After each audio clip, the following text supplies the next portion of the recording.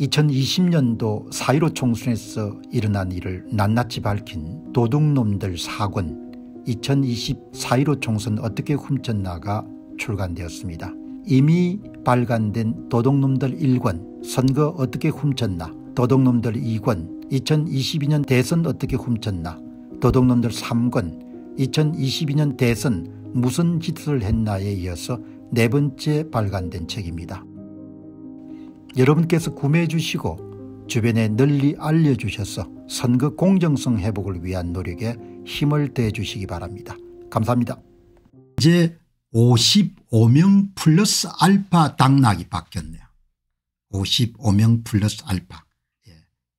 현재 가장 유력한 후보는 55명이 당선자가 낙선자가 됐을 가능성이 굉장히 높은 겁니다. 예. 55개를 빼앗아간 겁니다. 최소 55명 플러스 알파입니다. 최소 55석 정도가 당선자가 낙선자로 바뀐 것 같다. 그 내용을 정말 이 선거 문제에 대해서는 아주 정통한 인물 가운데 한 분이 민경욱 전 의원이자 국토본 상임대표인데 이제 글을 올렸네요. 당일 투표에 이기고도 사전투표로 떨어진 국힘당 후보자 명단입니다. 예. 여기서 아주 전형적인 인물이 영등포울에서 김민석 후보가 대결해 가지고 여러분들 패배한 박용찬 후보죠. 당일 투표에서 55%로 압승했습니다 불구하고 만표 이상이 김민석 후보에게 더해지면서 낙선의 고배를 마신 거죠. 아마 제 기억이 정확하다면 만한 6천 표 정도 만 4천 6천 나중에 나올 겁니다. 예, 그리고 최재형 후보 예, 최재형 후보도 뭐 승리한 사람이죠. 예, 그 내용도 여러분들 다루도록 하겠습니다. 자기가 당선자였다는 사실도 모르는 멍청한 국힘당 후보자 명단을 공개하겠습니다. 혹은 자기가 당선됐다는 걸 알면서도 선거 무효소송을 제기할 배짱과 용기가 없는 국힘당 후보자 명단도 공개하겠습니다. 혹은 자기가 당선됐다는 것을 알면서도 지난 4년간 부정선거를 주장하는 사람들을 언모론자로 욕하면서 똑똑한 척을 해왔기 때문에 문제 제기도 못하고 예, 이불 속에서 발차기를 하는 예, 쌤통 국민의힘 후보자 명단을 공개합니다. 한결같이 주변 눈치만 보고 진실과 사실을 밝히는 용기를 내지 못하는 비겁한 국힘당 후보자 명단입니다. 특히 이 가운데 28명은 정확히 같은 비율로 차이값이 플러스 값하고 마이너스 값이 일치하는 거죠. 여러분 거듭 말씀드리지만 대한민국 공직선거의 부정은 초등학생도 알 수 있을 만큼 아주 간단합니다. 예. 사전투표일을 부풀려서 유령 사전투표 가공의 숫자를 만든 다음에 그것을 전산 프로그램 이용해 전부 다 더블당 후보한테 더해 줍니다. 그리고 사전에 마련해둔 같은 수의 위조 투표지를 4박 5일 사이 투입하는 그런 방식을 사용한 것으로 추정됩니다. 다만 확정적 사실은 전산 프로그램을 가동해 가지고 더불어민주당 후보의 사전투표 득표수를 부풀린 것은 확정적 사실입니다. 표를 몇 표를 집어넣냐 문제는 제가 보지 않았기 때문에 그냥 추론을 하는 겁니다. 예. 그러면 그렇게 표를 더불어민주당 후보한테 위조 투표지를 투입하게 되면은 예 나중에 선거관리위원회가 선거 데이터 후보별 득표수를 발표하게 되면은 예 사전투표 득표일 빼기 당일 득표도 차이값이 거의 예 완전히 좌우대칭이고 더불어민주당 후보는 항상 플러스 10% 되고 국민의힘은 항상 마이너스 10% 되고 그리고 제3의 후보가 선거에 임하지 않았으면 거의 정확하게 플러스 15% 더불당 마이너스 15% 국힘당 이렇게 플러스 마이너스 값이 정확하게 일치합니다. 예. 플러스 마이너스가 거의 일치하거나 정확하게 일치하게 되면 아 여기서는 사전투표 조작 자들이 표를 집어넣었구나 이렇게 여러분들이 보시면 됩니다. 이, 이분들을 예 저는 국민의힘 후보들이고 비급하게 누구 하나 이의 제기를 하지 못하고 있습니다. 예, 여기 이제 이분들이 다 예, 강기훈 강기훈 이번에 떨어지셨네요. 예, 창원 성산구에서 아마 3선 정도 됐을 겁니다. 예, 구자룡 예, 이 구자룡 이번에 양천에서 출마했던 거죠. 권명호 김건식 예, 이번에 이겼는데 또 김병민 이겼는데 떨어지겠네요. 예, 김선동 저번에도 부정선거로 패배했는데 이번에도 또 떨어졌네요. 예. 김종혁 씨도 예. 뭐 박민식 음, 강서구 박용찬 아니 서병수 부산시장을 하신 분이 이번에 유일하게 부산에 떨어졌네. 신범철 천안에서 출마했을 겁니다. 윤창현 대전 원희룡 계양을 오신환 중구 성동구 갑 예, 윤희숙 중구 성동구 갑 예, 오신환 예, 광진을 예, 이수정 수원정 이용 하남 예, 뭐 여기 다 나오네요. 예, 이혜훈 예, 이혜훈 예, 전주혜 정진석 공주부여 청량 최재영 종로구 예, 이런 분들이 이분들 외에 플러스 알파입니다. 52명 플러스 알파. 예, 오늘 말씀드린 그 세종시 갑 예, 김종민 의원과 대결했던 분도 근소한 차이로 승리했는데 만 몇천 표가 들어 만 육천 표가 들어가면서 그냥 크게 대표를 해버렸죠. 그러니까 이거는 그냥 단순히 차이값만 가지고 분석한 겁니다. 예, 그리고 오늘 점심시간 정도 맞춰 가지고 제가 조금 힘이 남으면은 대전광역시의 선거 조작이 일어나 가지고 국힘당이 몇 명이나 패배했는가를 상세하게 여러분들에게 보고를 드리도록 그렇게 하겠습니다. 오늘 아침 방송에 힘을 너무 많이 써버리면 제가 오후 방송을 할 수가 없고 예. 어떻든 간에 이렇게 보시면 좋겠습니다. 예. 이분들은 모두 다 만표 이상 정도가 투입되면서 낙선한 후보입니다. 원래는 당선자였는데 만표 이상 정도 여름 투입되면서 예, 그 이제 내용이 상시하게 이렇게 나오네요. 예, 서울 종로구 당선자 곽상은 예, 사전투표 득표율 빼기 당일 투표 득표율 플러스 15.4% 어마어마하게 조작을 한 겁니다. 예, 예, 사전투표 득표율 당일 최재영 마이너스 15%뭐 여기 있는 분들은 100% 여러분들 당선자가 낙선자가 된 경우입니다. 예. 여러분들 이 정도 크기의 차이값이 나오게 되면 서울 종로구의 15.4% 곽상은 후보 예, 국민의힘의 최재형 후보가 마이너스 15% 정도 나오면 100% 여러분들 당선자를 낙선자로 만든. 당선자를 낙선자로 만드는 가운데서 만 표 이상이 이제 투입이 된 거죠. 예. 그러니까 그냥 사전투표 조작해 가지고 최소 52석을 바꿔버린 겁니다. 예. 보시게 되면은 이 창원시 성산구 예, 이거 뭐 다 이렇게 13% 마이너스 11, 11.7% 연수구을 이번에 또 부정선거 이름 당선된데 정일영 플러스 12.7% 마이너스 12.7% 여러분들 여기서 플러스 12.7% 마이너스 12.7%를 합치게 되면 25%가 됩니다. 플러스 12.7% 마이너스 12.7% 그러면은 이거를 여러분들 25% 정도 나오는데 그걸 어떻게 해석하는 사전투표 참가자의 약 25%만큼의 득표수를 조작한 겁니다. 그렇게 보시면 됩니다. 예. 이렇게 여러분들 보시면은 다 나오네요. 하남시 갑에도 상당히 조작을 많이 했네요. 추미애 차이값 플러스 12.3% 이용 차이값 마이너스 12.3% 얼추 25% 정도의 사전투표자 수의 25%만큼을 조작을 한 겁니다. 예. 선거인수 기준으로는 한 6에서 7% 정도 조작을 했겠죠. 예. 여기서 이렇게 예, 뭐 여기 민경욱 전 의원이 공개한 이거는 뭐 100%입니다. 이분들은 거의 사전투표 조작을 통해 가지고 낙선한 여기 보시게 되면 이현주 후보도 어마어마하게 조작을 했네요. 이현주 예, 차이값 플러스 14.5% 강철호 차이값 마이너스 14.4% 이거는 당선자와 낙선자가 거의 바뀌었어요.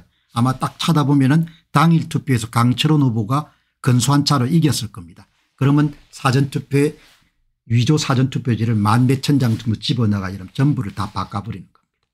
예. 그렇게 여러분들 돼가는 거죠. 음. 여기 보시면 강원 춘천시 철원군 화천군 전번 2020년 4.15 총선에서도 사전투표 조작으로 김진태 후보가 낙선을 하게 됐죠. 이번에도 여러분들 사전투표 조작을 해가지고 김혜란 후보가 아주 근소한 차로 이긴 선거였습니다. 그거는 이미 한 번 여기서 다룬 적이 있습니다. 예. 어떻든 간에 예. 55명이 당락이 바뀌었다. 근데 뭐 이보다 더 숫자가 나올 겁니다. 이미 이제 제야 전문가는 이런 분석 자료를 내놨지 않습니까? 예. 4.15 4월 10일 총선에서 주요 격전지 가운데서 여기 여기 있는 것이 몇 표를 더해 줬느냐 여기 다 나오지 않습니까 예. 이 나경원 후보는 14,530표의 유령 사전 투표자 수를 류삼영 더불어민주당 후보와 함께 투입했음에도 불구하고 살아남은 거지 않습니까 예. 여기 최재형 후보는 11,410표가 투입됐네요. 예. 선거관리위원회가 최재형 후보 보시기 바랍니다. 선거인수 기준으로 사전투표율 9.05%를 부풀린 다음에 유령 및 가짜 사전투표자 수를 확보하고 그것을 예 사전투표장에 세 사람이 올 때마다 한 장씩 여러분들 더불어민주당 후보와 함께 더해 주는 방식을 사용해 가지고 총 11,410표를 투입한 겁니다. 예. 11,410표를 투입해 가지고 원래는 최재형 후보가 43대 50으로 승리한 선거를 선거관리위원회가 51대 43으로 최재형 후보가 패배한 걸로 그렇게 만들어버린 거죠. 정진석 후보는 압도적으로 이겼 습니다.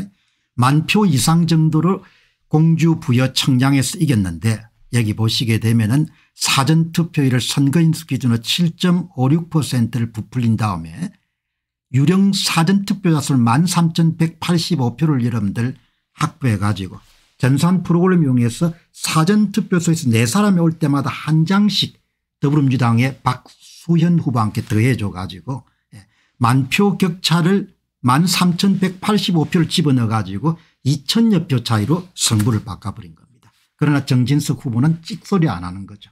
예, 이렇게 여러분들 돌아가는 겁니다. 그러니까 여기 나왔던 이 내용 이 내용을 여러분들 뒷받침하는 자료가 바로 여기에 나와 있다. 그렇게 여러분 보시고 뭐 여러 번 말씀드렸습니다마는 이 사람들이 조작을 하는 방식은 여러분이 선거관리위원회의 홈페이지를 방문하시게 되면 4월 10일 총선의 선거 데이터를 이렇게 보실 수가 있습니다.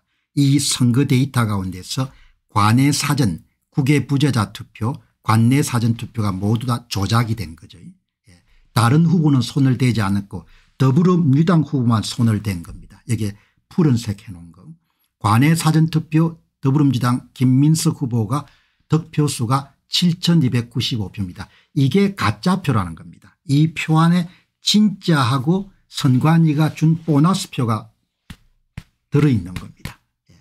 그러니까 여기에 국외 부재다 투표 375표 이게 여러분들 예 부풀려진 겁니다. 그 안에 사전투표장을 제외 국민투표를 직접 던진가 하고 그 다음에 선관위가 보너스를 준 표가 들어있는. 그러면 여러분이 궁금하시면 보너스를 어떻게 계산하냐 선관위가 공짜로 밀어준 표를 어떻게 계산하냐 간단합니다. 여기 김민석 후보의 앞을 보시게 되면 관내 사전투표 선거인 수가 있습니다. 12,470명 12,470 곱하기 서울은 세 장당 한 장을 훔쳤기 때문에 4분의 1을 곱하면 딱 나오는 겁니다. 4분의 1. 4분의 예, 1을 곱하시면 되는 겁니다. 여러분 한번 계산해 가지고 올려주시기 바랍니다. 12,470 곱하기 4분의 1. 몇, 몇 표입니까? 예. 제가 예, 여기 깜빡해 가지고 계산기를 안, 안 갖고 왔네. 예. 조금 있어 보시죠. 계산기 가져와.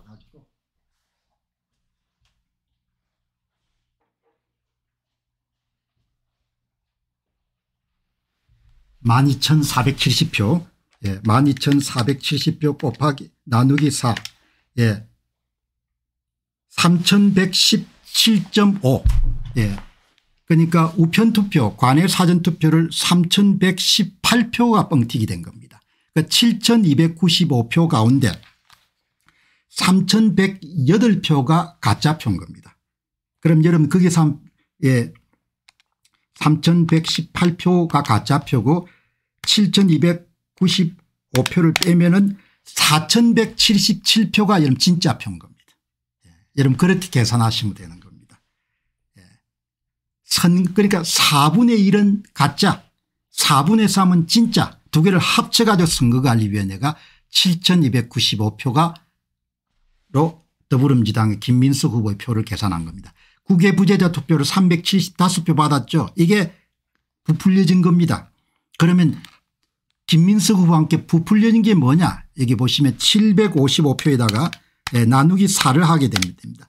188.75 189표가 더해진 겁니다. 375표 가운데 189표가 여러분 가짜표입니다. 189표가 가짜표고 375표가 여러분들 부풀려지는 거니까 실제로 김민석 후보가 여러분 받은 표는 180, 100, 예, 186표밖에 안 되는 겁니다. 755에 4 이렇게 하면 가짜표가 189표 375표에 선관위 발표 대례에서 100, 189표를 빼게 되면 예, 186표를 받은 겁니다.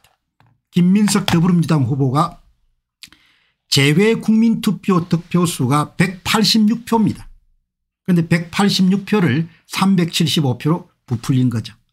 예, 그렇게 여러분들이 계산을 하시면 예, 되는 겁니다. 여기 보시게 되면은 이렇게 나오지 않습니까 예, 11,529표를 집어넣고 실제로 사전투표장 오신 분들은 3만 4,588명이고 두 개를 합치게 되면 선관위가 발표한 예, 김민석 후보의 사전투표 득표수 4만 6,115표가 나오는 겁니다.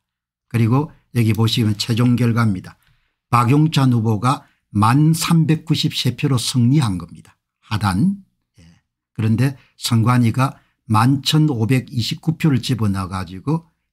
김민수 후보가 아슬아슬하게 1135표 차이로 승리한 것으로 승부를 조작한 겁니다. 예. 이렇게 보시면 예. 여러분들이 정확하게 이해가 되시는 거죠. 예. 참큰 발전한 겁니다. 예. 지난번 선거까지 이렇게 어, 속속들이 밝힐 수가 없었는데 그동안 참 많은 분들이 노력을 해가지고 이제 사전투표 조작의 방법 등이 뭐 아주 이 뭐 아주 확연하게 이렇게 밝혀지게 된 시점입니다. 자 여러분 보시기 바랍니다. 다음은 이 양정철 씨에 대해서 다 이 추억들이 있는 거죠. 어떤 분들은 뭐 좋은 추억도 있으실 수가 있겠지만 어쨌든 2020년도 4.15 총선에서 뭐 자타가 인정하는 그런 서, 소위 사전투표 득표수 조작을 진두지휘한 인물이다 이렇게 보면은 실무를 좀 진두지휘했던 그런 인물은 양정철 당시의 민주연구원 원장 그리고 전략기획위원장이자 민주연구원 부원장을 맡았던 이건영 씨두 예, 분이 이제 거의 실무를 다 담당을 했던 거죠.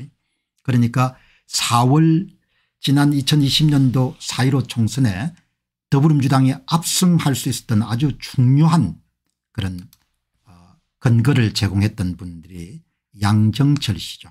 이건영 씨고 뭐 두 분이 아주 획기적인 일을 한 것은 아니고 기존에 뭐 2014년부터 선거관리위원회 해왔던 수법을 좀 더 조직적이고 체계적으로 해가지고 예, 이제 더불어민주당이 압승할 수 있도록 그렇게 만든 인물이 예.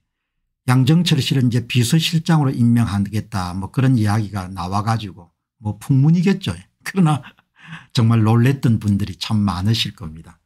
제 생각은 그냥 풍문처럼 한번 윤 대통령께서 양정철 씨를 비서실장으로 임명하면 은 세상이 어떻게 될지 한번 두고 보는 것도 괜찮을 것 같아요. 그래서 나는 차라리 비서실장 한번 임명해 보시는 게 어떻겠습니까 그렇게 진단 반 농담 반을 한번 드리고 싶은데 어떻든 간에 박영선 양정철 기용설의 여당 내부도 술렁술렁 당 정체성 전면 부정 예.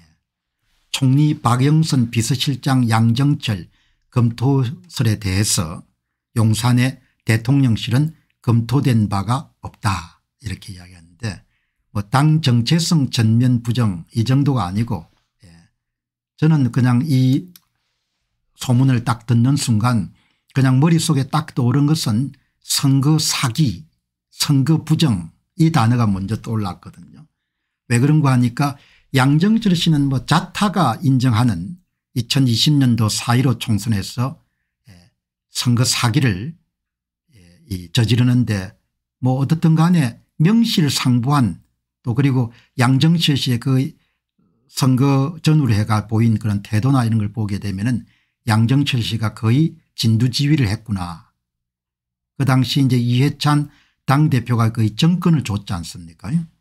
그래서 양정철 씨 이렇게 하게 되면은 뭐 항상 떠오르는 것이 선거 사기의 주범 주동자 이렇게 뭐 머릿속에 떠오르고 제뿐만 아니고 선거 문제에 대해서 관심을 가진 이 자유애국 시민들 가운데 대부분이 그렇게 생각할 건데 그 비서실장 이야기가 나왔으니까 얼마나 사람들이 놀랬겠습니까 예. 그리고 여기 이제 박영선 후보는 삼선 의원이고 예, 중소벤처부 장관을 하셨지만 이분이 2021년도 4.7 서울시장 보궐선거에 나왔지 않습니까 4.7 서울시장 보궐선거도 동일한 방식으로 대규모의 부정선거가 있었거든요. 예. 그러니까 두 사람 얼굴이 조선일보의 이런 온라인판에 크게 떠올랐을 때 내 머릿속에는 아니 윤 대통령께서 아무리 그렇다고 하더라도 선거 부정의 총책과 여러분들 관련자들을 비서실장하고 총리로 임명하시는 게 우선 정도가 아니고 참 기이한 일이다 그렇게 생각이 들었거든요. 예. 뭐 어떻든 간에 해프닝으로 끝나기를 바랍니다마는 아무튼 윤 대통령께서 용기를 내셔가지고 양정철 씨를 비서실장으로 임명하고 아마 박영선 씨를 총리로 임명하게 되면 임기 마치기는 힘드실 것 같아요. 예. 그거는 좌익들에 의해서 임기를 못 마치는 것이 아니고 우익들이 들고 일어날 것 같습니다. 어쨌든 간에 뭐 이렇게 예, 예, 저 박영선 씨도 나이가 많이 흘렀네요. 세월이 많이 흘렀네요. 얼굴에 저 눈가에 주름 같은 걸 보니까 음. 대통령실에서 검토된 바가 없다고 진하에 나섰지만 후폭풍은 계속되고 있다. 권성동 의원은 당의 정체성을 전면적으로 부정하는 인사는 내정은 물론이고 검토조차 해서도 안 됩니다. 다행히 대통령실에서 검토한 적이 없다는 공식 입장에 나왔습니다. 그러나 오늘 같은 해프닝은 메시지 관리 부실함을 드러낸 것이 상당히 아쉽습니다. 어쨌든 간에 이 기사가 뭐 오르게 실현되는 것과 관계없이 예, 그렇지 않아도 4월 10일 총선 때문에 무척 이렇게 속이 상해 있던 그런 소위 우파 진영의 시민들은 정말 경악했을 겁니다. 진짜 막 가구나 이렇게 생각하셨을 텐데 다행히 뭐 대통령실에서 그런 걸 검토한 적이 없다고 하니까 뭐 다행스럽게 생각하는 거죠. 예. 김용태 당선자는 아이디어 차원에서 누군가 상상을 흘렸을 가능성이 큰 게 아닌가 싶습니다. 만약 현실화한다면 지지층 사이의 후폭풍이 만만치 않을 것입니다. 훌륭하고 안 하고를 떠나서 야권 인사이기에 보수층이 받아들이기가 감정적으로 어려운 부분들이 있습니다. 예. 야권 인사들이기 때문에 받아들일 수 없는 것이 아니고 예. 나라가 정상적인 국가였으면 양정철 씨는 반드시 뭡니까 수사를 받고 행을 살아야 될 사람인 거죠. 예. 그런 사람을 만일에 윤 대통령 옆에 두는 비서실장이 됐다고 생각해 보시기 바랍니다. 예. 예상컨대 아마 사람들이 거리를 뛰쳐나올 겁니다. 예. 그런데 참 여기 보면 은 안출선 의원이 항상 이렇게 아쉬운 점은 이렇게 좀 철학이나 소신이 서 있는 사람이 아니다는 생각을 자주 하게 되거든요. 뭐 어쩌다가 이렇게 정치를 하게 됐는데 이런 결정적인 그런 시점에서 하는 이야기를 들어보면 아이 같다는 생각이 들거든요. 안철수 의원은 CBS 라디오 인터뷰에서 저는 무난하다고 봅니다. 이런 이야기를 하면 어떻게 합니까 김용태 당선자보다 못한 거죠. 다들 좋은 분들이라고 생각합니다. 양정칠이가 좋은 사람이라는 거죠. 예. 박영선 후보가 좋은 사람이다. 그래서 뭐 문제가 없다. 이게 안철수 씨가 갖고 있는 시각이니까 그 사람의 그릇됨을 우리가 이해를 할 수 있는 거죠. 특히 또 김대중 대통령께서 IMF를 극복하기 위해서 보수진영에 있던 분을 비서실장으로 모셔왔지 않느냐 그러면서 여야가 서로서로 상생하고 화합하는 그런 협력관계로 IMF를 극복했기 때문에 지금 사실 어떻게 보면 IMF만큼 큰 위기가 지금 우리 앞에 닥쳐오고 있다. 예, 그래서 김중건 DJ 정부 초대 비서실장 사례를 들면서 이야기하는데 그거하고는 다르지 않습니까 2020년 4.15 총선의 선거 부정의 총책임자가 비서실장이 된다고 생각해 보시기 바랍니다. 그게 말이 됩니까 그래서 참 안철수 의원 하는 이야기를 들어보니까 음, 좀 한심한 정도가 아니고 수준이 정말 예, 보통 시중에 있는 보통 시민들보다 훨씬 더 떨어진다 그런 생각을 하게 되는. 예, 그리고 여기에 박영선 후보는 개인적인 역량은 어떤지 모르겠습니다만 박영선 후보 이렇게 하면 4.7 보궐선거에서 조작을 한 거지 않습니까 본인이 몰랐을 수도 있습니다. 예, 여기 보시게 되면 은 당일 투표에서 오세훈 후보가 419개 동에 승리하고 5개 동에서 패배한 겁니다. 98.82%대 1.2%입니다. 압승을 한 겁니다. 2021년도 4.7 보궐선거는 박원순 전 서울시장의 성추행 사건 때문에 여러분들 보궐선거가 치러졌지 않습니까 그런데 관내 사전투표 보시기 바랍니다. 서울에 424개 동에서 189개를 승리한 거거든요. 전형적인 교차투표지 않습니까 예. 투표지를 두 장 들고 여러분들 사람들이 들어가 가지고 예. 투표지에 당일 투표하고 사전 투표에 모집단으로부터 추출된 투표자들이 완전히 다른 투표 성향을 보인 거죠. 부정선거를 한 거지 않습니까 189개 동에서 관내 사전투표를 박영선 후보가 이겼다는 겁니다. 어떻게 한 겁니까 지금처럼 사전투표를 부풀려 가지고 예, 유령 사전투표 사람들 만든 다음에 박영선 후보한테 다 집어넣어 줬다는 거 아닙니까 그 이런 결과가 나오지 않습니까 예. 물론 박영선 후보가 처음 한 것도 아니고 양정철 전 민주연구원 원장이 처음으로 부정선거를 한 건 아닙니다. 보시게 되면 은 2017년에서도 서울시의 사전투표 득표율이 당일 투표 득표율보다 큰 더불어민주당 동계수가 423개 2020년 대통령 선거에 425개 2020년 4.15 총선에 424개니까 그전에도 다 선거 부정을 해온 겁니다. 그러니까 양정철 전민주연구원 원장이나 박영선 후보가 혹시 이 방송을 들으시면 섭섭하게 생각하실 수도 있겠지만 그럼에도 불구하고 어떻든 옛날에 해온 것은 차치하고라도 두 사람이 선거 부정에 관련이 되어 있는 거죠.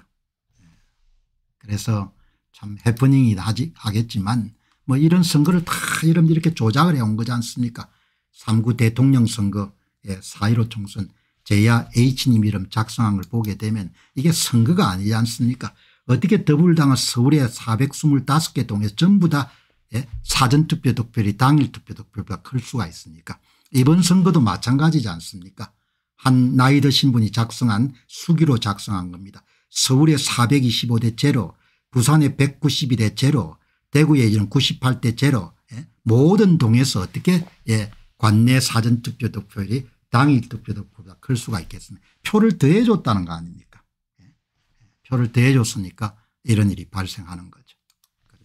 예.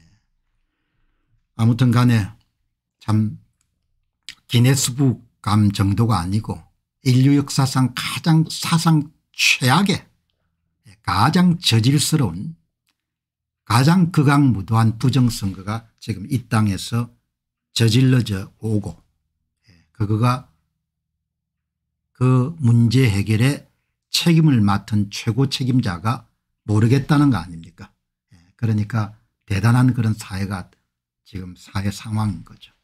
예. 자, 얼마나 부풀렸냐 이야기죠. 표를 얼마나 쑤셔 넣냐 이야기입니다. 예. 당일 투표에 의심되는 부분은 좀 제쳐두고 그냥 논의를 사전투표 득표수 조작에만 여러분들 국한하겠습니다. 여러분 다시 한 번 더 정리하게 되면 은 대한민국 공직선거에서 부정선거는 아주 간단 명료합니다. 필요한 위조 투표지를 확보하기 위해서 사전투표를 부풀리고 선거인 기준으로 일정 부분의 유령 사전투표자를 확보한 다음에 그것을 전산 조작을 통해서 더불어민주당 후보와 함께 전부 다 더해주는 그 방식을 10여 년 동안 계속 사용해 온 겁니다. 그러면 위조 투표지 위조 사전 투표지를 몇 장이나 집어넣냐 그거를 어제는 예 공직선거에 대해서 모두 9분의 전수 분석을 행한 제야 H님께서 여러분들 하신 것은 어제 316만 표에서 312만 표 정도 최소 313 13만 표 그리고 최대 316만 표 정도다. 그거는 다르게 이야기하면 전국의 평균값을 따지면 은 선거구마다 12,000표에서 예, 12,000표 정도를 집어넣은 거다. 선거구마다. 선거구보다 12,000표 예, 12,000 12,000표 정도 집어넣은 겁니다. 예. 앞에서 말씀드렸다시피 차이값 그래프에 플러스하고 마이너스를 이름 더해 가지고 예, 그걸 투표자 수에 곱해 가지고 이름 구한 숫자인 겁니다. 316만 표에서 313만 표 정도. 선거가 치르기 전에 제야 전문가고 저는 최소 346만 표 정도의 사전투표 투표자 수를 조작할 거다 부풀릴 거다 그렇게 예상을 했습니다. 그런데 예상치가 좀 낮게 놓은 겁니다. 예. 그러면 오늘은 여러분이 말씀드리고 하는 것은 이 소위 선거 문제를 가장 깊숙하게 들여다보고 가장 많은 부분을 찾는데 혁혁한 공헌을 해온 인물이 바로 제야 전문가입니다. 제야 전문가가 사전투표자 수 부풀리기를 얼마를 여러분들 보는가라는 부분이 저는 상당히 관심거리입니다. 과연 우리가 총선 이전에 예상했던 것처럼 346만 표를 더 넘을 거냐 그거는 사전투표자 수가 1380 만 85만 명 정도인가 예 220만 명이 늘었기 때문에 더 늘어날 수도 있는 겁니다. 그런데 선거가 끝나고 난 다음에 조작을 어떻게 했는지를 찾아보니까 전국의 서울하고 몇 개 지역만 2020년도 4.15 총선 수준 정도의 조작값을 사용했고 나머지 지역은 조작값이 좀 낮은 겁니다. 그래서 아 최대치에는 이르지 못하겠구나 그렇게 예상을 한 겁니다. 여러분 어제 말씀드렸던 내용은 바로 이겁니다. 예, 어제 여러분들 말씀드렸던 것은 2024년 총선의 지역부 지역별로 조작을 어떻게 했느냐 부분은 어제 이렇게 정리를 한 겁니다. 예, 서울특별시는 숫자 4 그러니까 사전투표장에 세 사람이 올 때마다 예, 위조 사전투표지를 한 장 만든 다음에 더블당 후보한테 더해주는 방식입니다. 진짜 진짜 진짜 가짜표 진짜 진짜 진짜 가짜표 사전투표자 수 공공명당 위조 사전투표지 한 장을 더블당 후보와 함께 투입하는 것. 예. 여기 여러분들 사 서울에 여러분들 이게 이게 틀렸습니다. 사 사. 예, 진짜 세장 가짜 한 장. 예. 부산 6 예. 진짜 다섯 진짜 투표지 다섯 장당 가짜 한 장. 대구 6 예. 진짜 다섯 장당 가짜 한 장. 이걸 찾아낸 겁니다. 이거는 전수를 한 것이 아니고 대구 광역시에서 한 개 선거구만 여러분들 선택해 가지고 그것이 다 적용된다 이렇게 여러분들 가정한 겁니다. 아마 이번에는 이 사람들이 그 조작 작업을 굉장히 간단하게 한 것 같습니다. 그러니까 2020년 4.15 총선처럼 반드시 이겨야 될 지, 역에는 무슨 뭐 예, 두 장당 한 장을 빼앗기도 했는데 그런 건 요즘 이번에 안 하고 대부분 서울에서는 예, 예외 없이 사전투표에 참가한 사람 세 사람당 한 표 이 수준 정도의 조작이면 2020년도 4.15 총선 수준의 조작인 겁니다. 예. 이걸 여러분들 한 겁니다. 예. 여기도 예. 예. 이거 여기는 맞네요. 예. 이렇게 아 이게 틀렸습니다. 이게 이거 틀리면 안 되죠. 중요한 거니까. 예. 진짜 세 장에 가짜 투표자 한 장을 투입하는 겁니다. 여러분 다시 이야기하게 되면 대한민국 공직선거의 사전투표의 조작은 아주 간단합니다. 그리고 전산 프로그램도 굉장히 조악하다고 하는 표현을 사용하고도 남음이 있을 정도로 그렇게 간단 명료합니다. 사전투표용에 무조건 세 사람이 올 때마다 서울은 예, 한 표씩을 가공의 숫자를 만든 겁니다. 위조 사전투표를 만들어 가지고 더불당하게 다 대준 겁니다. 세 사람당. 그러니까 사전투표를 할 때마다 뭡니까 예, 할 때마다 표를 빼앗기는 겁니다. 음. 예, 사전투표장에 가서 표를 던지는 사람들은 자기 표의 4분의 1만큼이 뭡니까 더불당 함께 넘어가는 겁니다. 그러니까 윤 대통령이 부산에서 여러분들 한 표를 던졌다. 그럼 여러분들 한 표 가운데 4분의 예, 3은 누구와 함께 갑니까 윤 대통령이 찍은 국힘당에 갈 거고 4분의 1은 어디로 가죠 4분의 1은 4분의 1은 어디로 갑니까 예, 후보와 함께 더해진 겁니다. 그러니까 무슨 뭐 자유통일당 여러분들 뭐 지지자가 예, 뭐 좀 바쁜 일이 있어서 사전투표를 해야겠다. 그러면 사전투표 본인이 한 표 할 때마다 뭡니까 4분의 3은 예, 자기가 던진 후보 함께 가고 4분의 1은 휙 날아가지고 뭡니까 더블당 후보 함께 쫙 꽂히는 겁니다. 예. 그래서 제가 사전투표 제도는 예, 통행시의 제도입니다. 자리시의 제도입니다. 사전투표에 참여하는 자들은 그 대가를 치르라 그 대가를 지불하라 이렇게 한 겁니다. 이렇게 여러분들 돌아가는 거죠. 자 그래서 이제 이걸 어제 했는데 어제 잠정 추계치가 나오기는 했는데 여러분들 한 번 더 검증을 하기 위해 가지고 하루 묶였습니다. 하루 묶이고 나서 여러분 오늘 드디어 결과가 나왔습니다. 여러분 보시기 바랍니다. 예. 2024년도 4월 10일 총선에 제야 전문가가 추계한 를 보게 되면 약 289만 표 정도의 위조 투표지가 투입된 걸로 보입니다. 그리고 플러스 마이너스 2%이기 때문에 최소 284만 표 최대 295만 표 정도의 유령 사전투표자 수가 전국 선거구에서 더불어민주당 후보와 함께 더해지게 된 겁니다. 그리고 이 표 가운데 예, 서울 지역에서는 거의 만 표에서 만 5천 표가 여름 투입된 겁니다. 만 표에서 만 5천 표. 여러분 앞에 살펴봤던 영등포을 영등포를 보시게 되면 만 1529표가 투입된 겁니다. 예. 지금 말씀드리는 예. 지금 여러분이 보시는 이 자료 예. 이 자료 예. 289 280 뭐 290만 표로 보죠. 290만 표 가운데 예, 290만 표가 전국의 모든 여러분들 투표소에서 다 이렇게 분산돼가 이런 투입됩니다. 이거 보시기 바랍니다. 290만 표 가운데 정진석 후보의 경쟁자에게 13,185표 최재형 후보의 경쟁자에게 11,410표 예. 그다음에 이재명 후보한테 1,074표 예. 그리고 박용찬 후보의 경쟁자인 김민수 후보한테 11,529표 윤희숙 후보의 경쟁자인 전현희 후보한테 14,262표 위조 투표제가 그냥 왕창 뭡니까 선관위가 선물을 준 겁니다.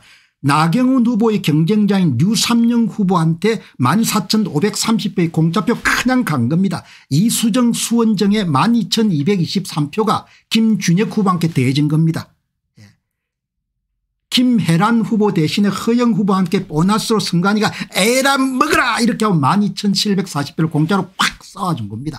이걸 다 이름 더하게 되면 은 그게 290만 표 정도가 나오는 겁니다. 그 표수가 바로 여기 있는 290만 표입니다. 290만 표가 전국의 선국에 다 뿌려져 가지고 더불당 후보한테 다 더해진 겁니다. 더불당 후보에 더해져 가지고 당일 투표에서 승리하더라도 국힘당 후보가 개피를 본 겁니다. 이게 개피 목록이 나오지 않습니까? 개피 목록.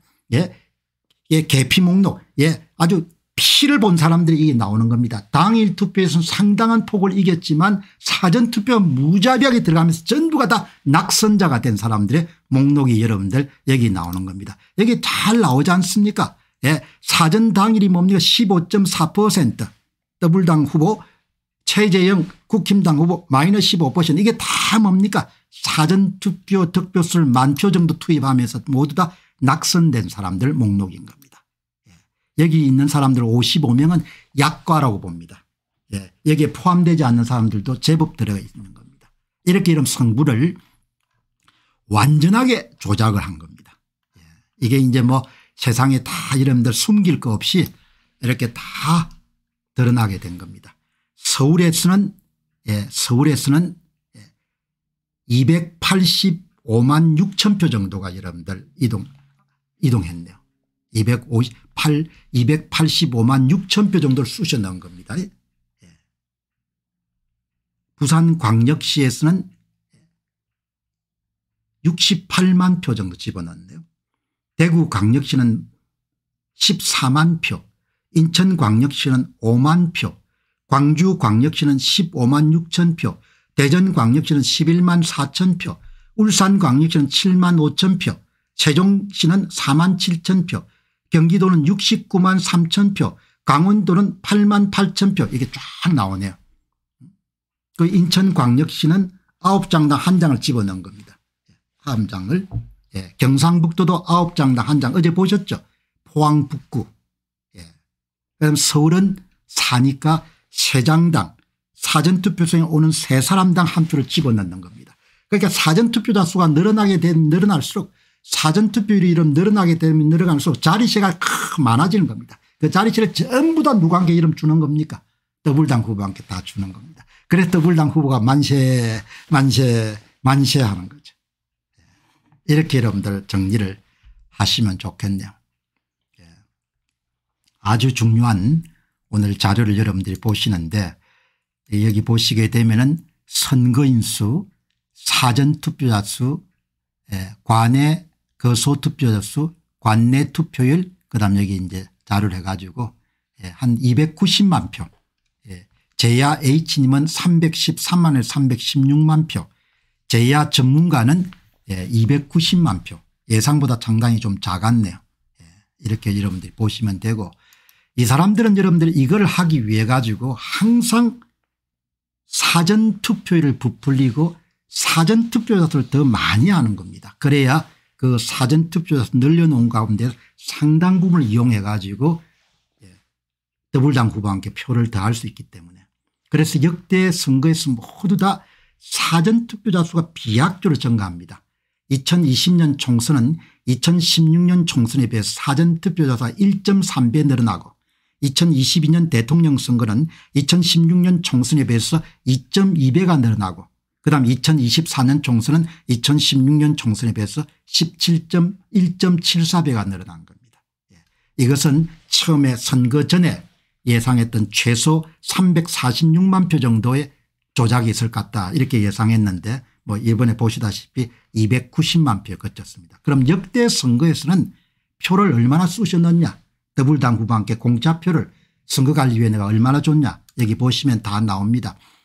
윤 대통령이 등장하고 치러졌던 지방선거는 98만 표 대통령 선거는 240만 표 총선은 293만 표 예. 21대 총선 예. 그러니까 293만 표니까 이번에 여러분들 290만 표죠. 예. 그러니까 뭐 총선하고 거의 비슷한 수준입니다. 예. 290만 3만 표 그다음에 2018년도 지방선거는 206만 표 예. 그리고 2017년 대통령 선거는 101만 표 2016년 총선은 51만 표 이렇게 보시면 되는 거죠. 예. 이렇게 해서 사전투표자 수를 부풀려 가지고 그만큼을 뭡니까 예. 전부 다 더불당 후보와 함께 보너스로 준 겁니다. 그리고 실제보다도 발표 사전투표자 수를 늘려야 되는데 국민들이 실제 사전투표율이나 사전투표자는 일체 모르게 그렇게 제도를 만들어 놨기 때문에 얼마든지 본인들이 원하는 대로 그냥 조작을 할 수 있는 예, 이런 식의 선거가 치러지게 된 겁니다. 굉장히 오늘 중요한 내용입니다. 제야 전문가의 최종적인 잠정 추계치가 290만 표 2020년도 4.15 총선의 여러분들 추계치가 293만 표. 3구 예. 대통령 선거에 여러분들 투입된 위조 사전투표 그러니까 그 당시는 이재명 후보한테 대해진 거죠. 240만 표. 예. 그러니까 이런 선거가 지속되는 한 우파 진영은 권력을 되찾아올 가능성이 없는 겁니다. 예. 이게 주는 것은 그냥 외관상 다당제를 선택하고 있지만 선거를 장악한 자들이 완전히 뭐죠 일당 지배체제가 개막됐다 이렇게 보시면 되는 겁니다. 예. 지금 대한민국은 일당 지배체제가 실질적으로 선거를 장악한 자들이 모든 선출직 공직자를 좌지우지할 수 있는 그런 상황이 된 겁니다. 이렇게 여러분들이 보시면은 예, 뭐이 문제를 해결하지 않고서는 참 앞이 안 보이는 거죠. 예, 그렇게 보시면 좋겠습니다. 자게 보시게 되면 3348대 57 예, 전국에 한 3500여 개 정도의 은면동이 있습니다. 예, 오늘 제야 H님께서 전수 분석을 한 결과를 보내줬습니다.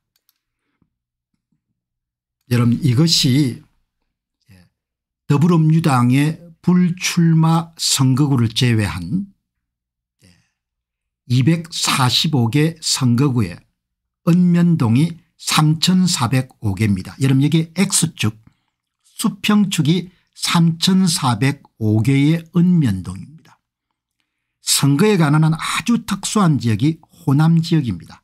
광주 광역시 전라남도 전라북도가 선거에 관해서는 좀 특이한 현상들이 발생하는 지역입니다.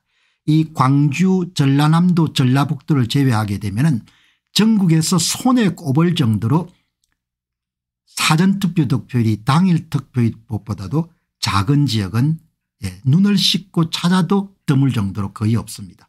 압승을 한 겁니다. 그리고 이 차이값 보시기 바랍니다.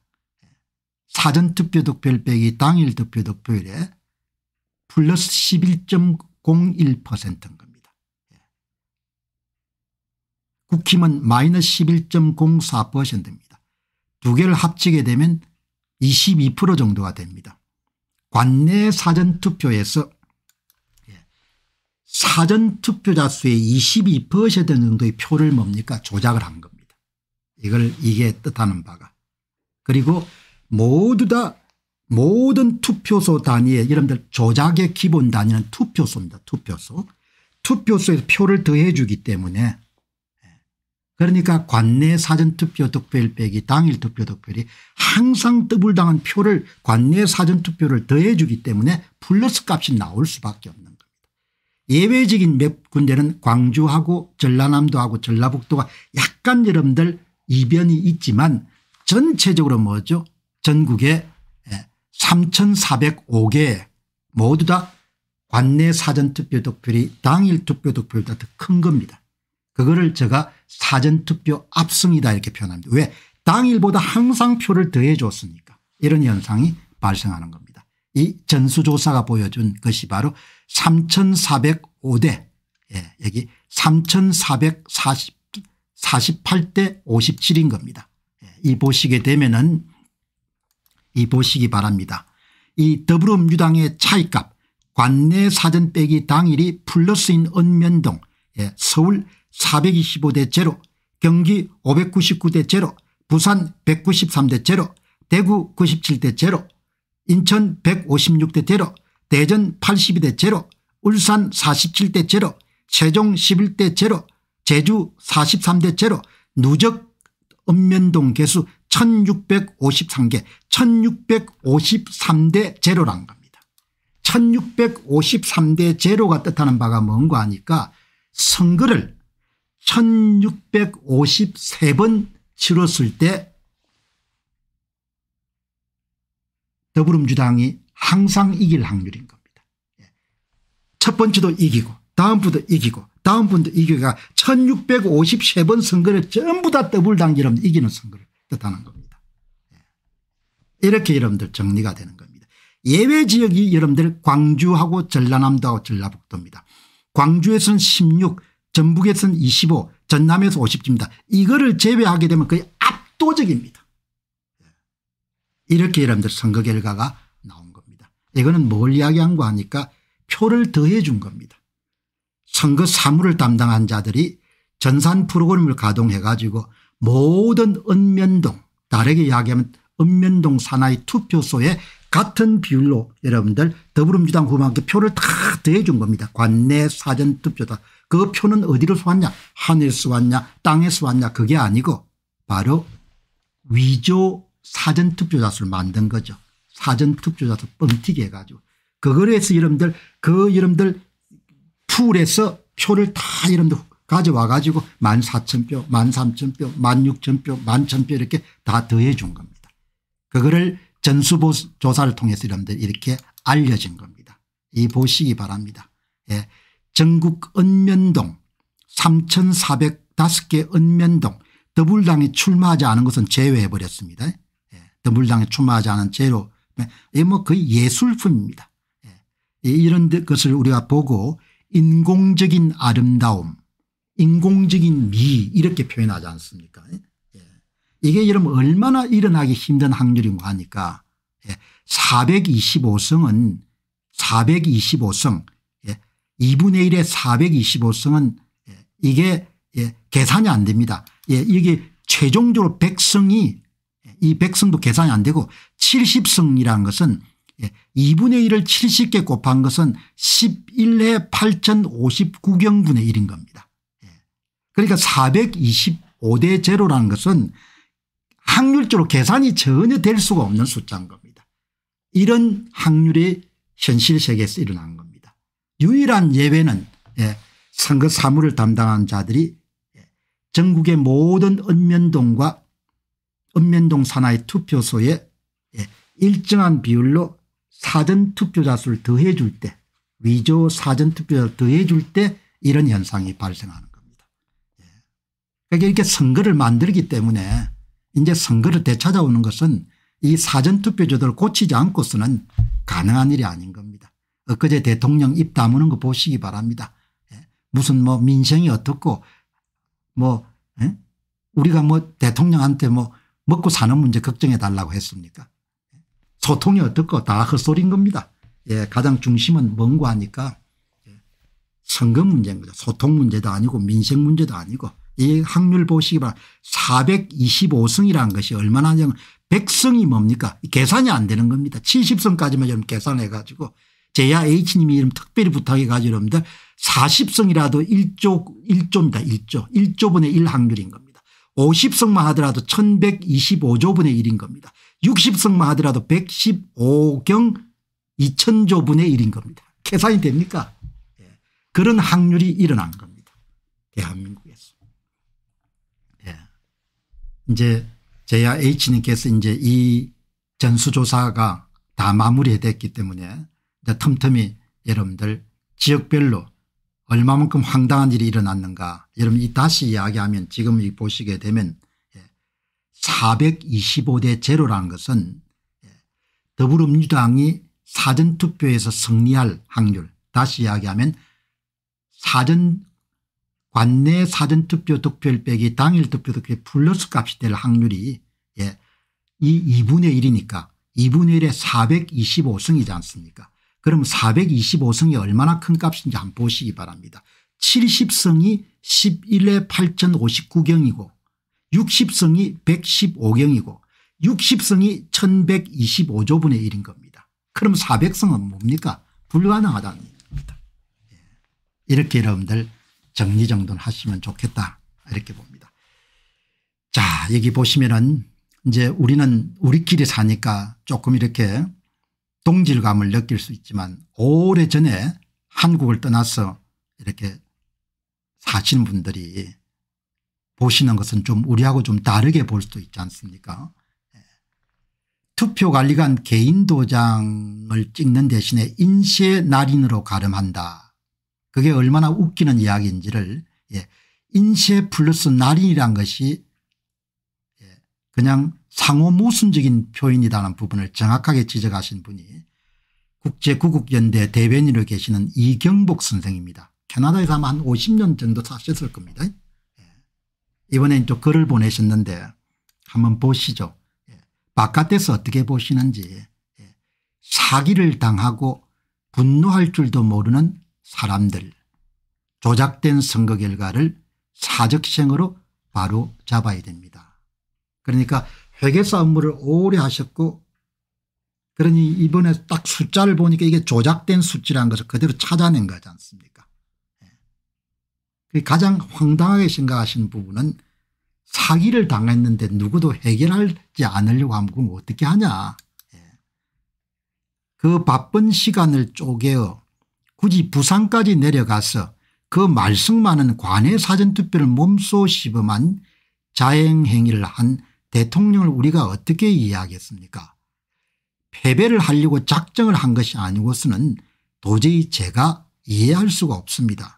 어디 대통령뿐입니까 선거를 지휘하는 비상대책위원장인지 뭔지 아는 초짜 위원장과 그를 따른 후보전은 역시 예외 없이 사전투표장을 달려갔으니 누구를 탓하겠습니까 당에도 싸다는 말이 나오지 않을 수가 없는 겁니다.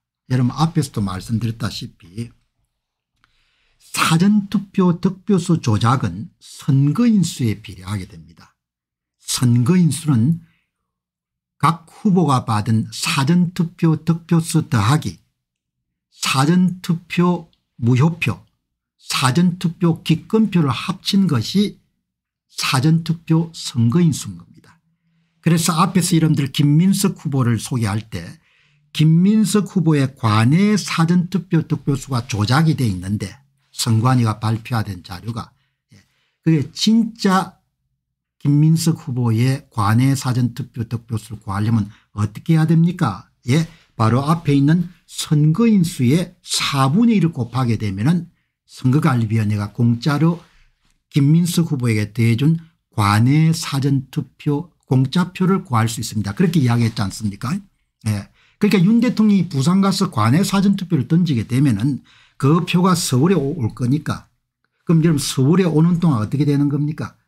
한 표가 국민의 힘으로 가는 것이 아니고 4분의 3은 국민의 힘으로 가고 4분의 1은 자리세로 이러면 다 수거가 돼가 전부가 다 어디로 간 겁니까 세 장당 한 장꼴로 전부가 다 예, 더불어민주당 후보한테 더해지는 거죠.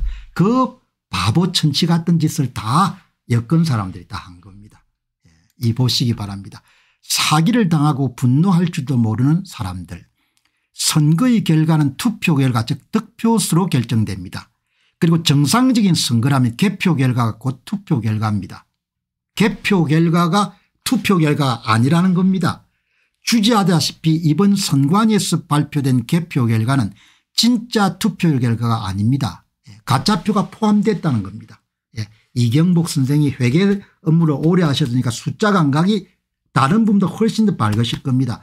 아니 내가 선관위 발표 후보별 득표수를 보니까 야당 더불어민주당 후보의 표가 부풀려졌네 이렇게 이야기하시는 거지 않습니까 예를 들어서 4명의 선거인이 투표를 했을 경우 투표자입니다. 두 명은 A 후보에게 두 명은 B 후보에게 투표를 했다면 A 후보 두표 B 후보 두표가 투표 결과이자 개표 결과입니다. 그런데 만약 개표 결과가 A 후보 3표 B 후보 두표로 나왔다면 4명의 투표인이 선거한 투표한 사실과 부합되지 않기 때문에 이것은 필시 선거인 수가 일명 부풀려지고 그에 따라 가짜 투표지 한 장이 추가됐다고 밖에 볼 수가 없습니다. 착하게 이야기를 하지 않습니까 예. 더불어민주당 후보의 표가 부풀려지게 된 것은 바로 같은 수만큼 선거인 수가 부풀려진 것이고 투 사전 투표자서 부풀려진 것이 그걸 그대로 적용하지 않습니까 2 플러스 2란 Big Brother 세계가 아니고서는 성립될 수가 없기 때문입니다. 2 플러스 2가 4가 돼야 되는데 대한민국 선거 결과가 2 플러스 2를 5라고 한다는 겁니다.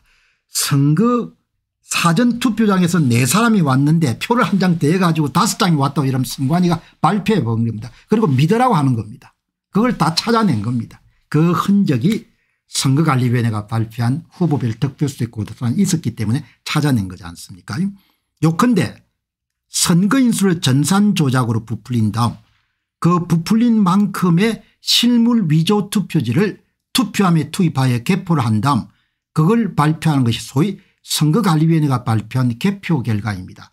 착하게 지적하셨네요. 투표자 수를 전산 조작으로 부풀린 다음에 그 부풀린 만큼을 실물 위조 투표를 투입하여 투표함에 넣고 그걸 투표지 분류기를 돌리고 개수기를 확인하고 그 짓을 했다는 않습니까 짧게 단호하게 이런 말씀을 하시네요. 문제의 심각성은 이렇듯 선거 결과를 사기당하고도 이것을 민의로 알고 겸허히 받아들이겠다면서 패배를 시인하는 점이다.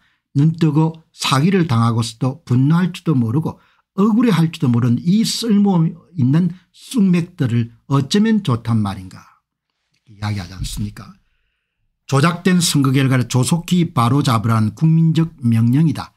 피해 당사자인 여당은 조속히 선관위를 고발 조치하고 관련 당국은 수사력을 총동원하여 고발된 혐의를 수사토록 해야 된다. 이것은 대통령의 헌법적 책무임을 물론 본인 자신의 안위를 위해서도 절실하다. 만약 이 조작성을 유야무야 그냥 둔다면 필시 악마의 레시피가 밀려올 것이다. 조작으로 탈취한 다수의 힘으로 연이은 특검을 거쳐 탄핵을 밀어붙일 것이 뻔하다. 탄핵으로 성이 찰자도 아니다. 지난 정권에서 못한 반국가적 일들을 기어이 저지르고도 말 것이다. 대통령은 그동안 선거 민주주의를 수호해야 될 헌법적 책무를 너무나 오랫동안 외면하고 방기해왔다. 이제 더 이상 단순 방기로 치부될 수가 없다. 반역적 직무유기가 적용될 것이다. 예. 트리저너스 네글리전스라는 그런 영어 표현인 모양이네요. 예. 국가의 지도자가 직무를 적을 유리하게 하기 위해서 하는 행위를 반역적 직무유기라고 이렇게 표현하는 모양입니다. 예. 이제 이경복 선생이 많은 사람이 놓치는 그런 부분을 아주 간단 명료하게 표현하는데 아주 익숙하시죠. 예.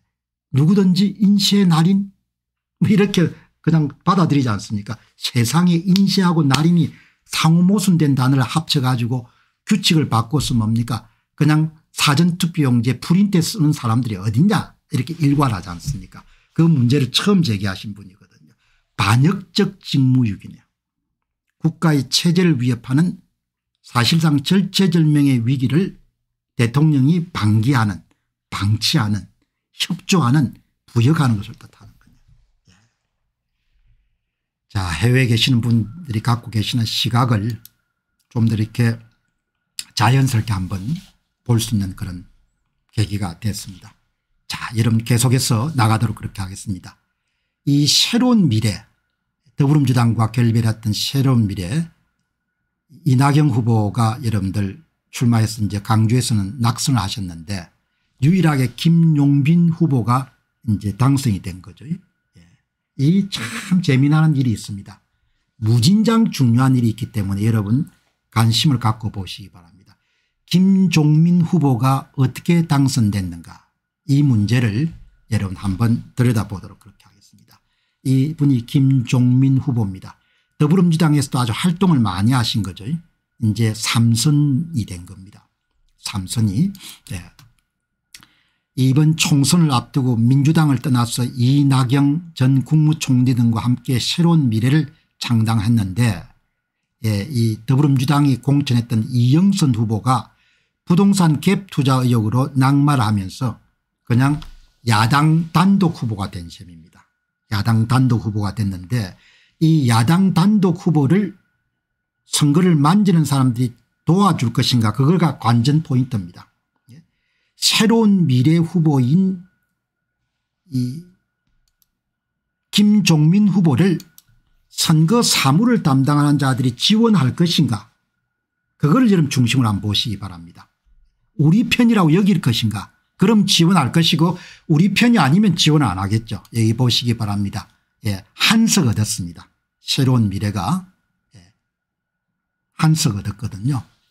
한석 얻었는데 이 보시게 되면은 여러분 한번 생각해 보시기 바랍니다. 새로운 미래에 출마했던 예, 얼마 전까지 더불어민주당 후보의 더불어민주당에 활동했던 동료였던 예, 김종민 위원을 예, 선거 사무를 담당한 자들이 지원해 주겠습니까 저는 지원해 주겠다고 보거든요. 어차피 같은 편이니까 이 보시기 바랍니다. 이게 지원을 했는가 안 했는가를 한눈으로 볼 수 있는 겁니다. 앞쪽은 국민의힘의 류재하 후보의 관내 사전투표 득표율 빼기 당일 투표 득표율 그리고 관내 사전투표 득표율 빼기 당일 투표 득표율 국외 부재다 투표 이런 걸 여러분들 이야기하고 김종민 후보의 차이값입니다. 100% 여러분들 전산 조작을 한 거죠 이거는. 북광면 류재화 마이너스 9% 김종민 플러스 10% 금남면 차이값 류재하 마이너스 9% 김종민 플러스 10% 장군면 류재화 마이너스 13% 김종민 플러스 14% 무슨 이야기인 겁니까?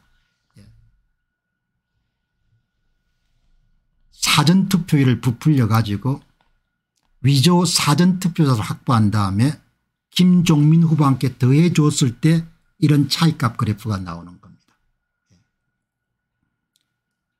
김종민 후보와 함께 표를 왕창 더해 주게 되면 마치 국민의힘 후보로부터 표를 빼앗아 가지고 같은 분량만큼을 더불어민주당 함께 더한 것처럼 이렇게 표가 나오는 거죠. 예, 여러분들 뭔가 하니까 조작을 한 거라는 이야기죠. 자 선관위 자료 한번 보시기 바랍니다. 이게 선거관리위원회가 선거가 끝나고 난 다음에 발표한 자료입니다. 예, 여기 보시게 되면은 예, 이게 예 여기에 김종민 후보의 관내 사전투표 국외 부재자 투표가 다 이렇게 뭡니까 손을 댄 겁니다. 여기 보시죠. 김종민 후보의 관내 사전투표 득표수 9030표입니다. 여기에 선관위가 공짜로 준 표가 들어있다는 겁니다. 몇 표나 이런 공짜로 얻었겠 습니까 예, 여기에 예, 관에는 세 사람당 한 명을 더해줬네요. 예, 그러면 여기 보시기 바랍니다. 9030표죠. 공짜표가 몇 표가 들었는지 한번 보시기 바랍니다. 16,876표에 나누기 4를 하게 되면 공짜표가 나옵니다. 16,876표에 나누기 4 예. 4,219표 여러분 9,030표 가운데 4,219표가 공짜표입니다. 여기에. 김종민 후보가 받은 우편 투표 득표수 9,030표가 예. 실제로 투표자에 던진 표가 아니고 9,030표 가운데 4,219표가 공짜표입니다. 가짜표라는 거지. 그럼 4,219표는 어디서 나왔냐 16,876표 선거인 수의 4분의 1인 겁니다. 최종갑에서는 조작을 어떻게 했는가 하니까 사전투표장에 세 사람이 올 때마다 한 장의 위조투표지를 김종민 함께 더해줬거든요. 진짜 진짜 진짜 가짜표 진짜 진짜 진짜 가짜표 4분의 1이 가짜인 겁니다.